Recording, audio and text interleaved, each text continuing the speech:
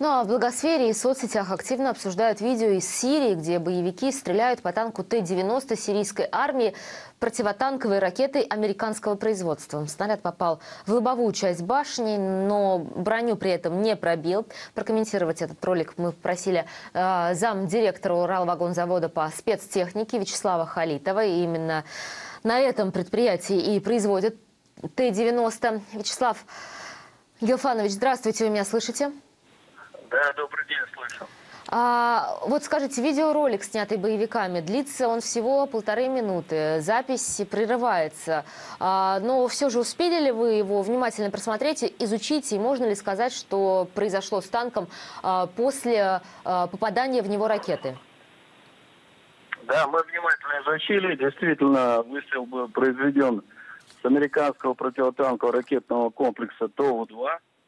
А, ракета имела боевую часть кумулятивную, и сработали модули динамической защиты на танке. Эти модули своим энергетическим действием разрушили кумулятивную струю, и поэтому особых повреждений танку не нанесено, экипаж остался жив – если бы при этом еще была э, включена система комплексного оптико-электронного подавления штора, то ракета бы вообще прошла мимо танка. Вот если коротко. Ну вот видно, а, э, там только одного человека, э, члена экипажа, покидающего танка. А что можете сказать о вероятной судьбе остальных? А, вот при таком попадании ракеты, на кого из членов экипажа приходится основной удар, или это не играет никакой роли? Вообще сколько могло быть там, какое количество максимальное человек? А, в данном конкретном э, случае попадание произошло в лобовую часть как раз в том месте, где находится наводчик танка. Э, поэтому уж если наводчик покинул свободно танк после э, попадания ракеты, то остальной экипаж, безусловно, остался жив и невредим. Э, и вообще, если включены все системы и работают система защиты танка Т-90, а их несколько систем – защиты. И они правильно настроены, включены, экипаж обучен, то практически поразить эту машину очень сложно. Она показывает э, высочайшую живучесть по сравнению с своими зарубежными аналогами. А, ну вот еще а, а блогеры, военные эксперты отмечают, что а, инфракрасные излучатели шторы-1 способный а, противодействовать э, пускам ракет были отключены на этом танке. Сработала система динамической да, вот защиты. Я как раз про это только что...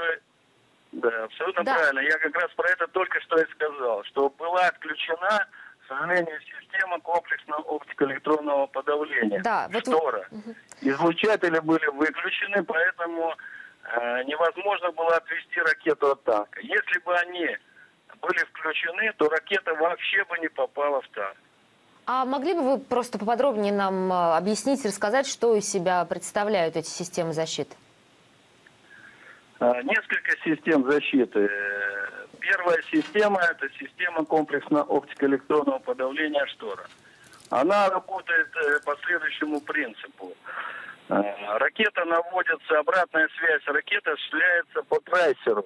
И когда включаются излучатели, осветители этой системы – то наводчик практически не видит, куда наводить это, э, эту ракету.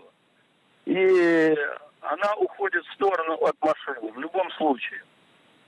А, вторая система – это система а, в случае, когда происходит облучение лазерным лучом. То есть противник пытается а, замерить э, по лазерному лучу дальность до нашей машины.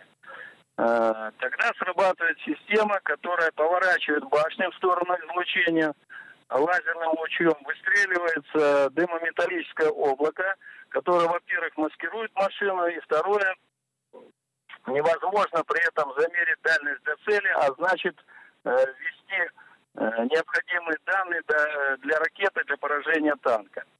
Ну и третья система, это так называемая реактивная броня, это вот система динамической защиты, которая в данном случае сработала. Это э, такие комплекты, в которые укладываются специальные пластины из специального материала. Они разрываются при попадании боеприпаса. и э, разрушает полностью или кумулятивную струю, или э, сердечник, э, к примеру, бронебойно-подкалиберного боеприпаса. Вот несколько систем, которые установлены на танке Т-90, систем защиты. А много ли вообще в Сирии сейчас э, э, Т-90? Поставляете ли сирийским военным эту технику сейчас? Э, Как они Я прошу прощения, но это вопрос, вопрос не к нам, это вопрос э, Министерства обороны. Хорошо, в любом случае, спасибо вам большое за а, ваши комментарии. Напомню, что на прямой связи с нашей студией был а, замдиректора Уралвагонзавода по спецтехнике Вячеслав Халитов.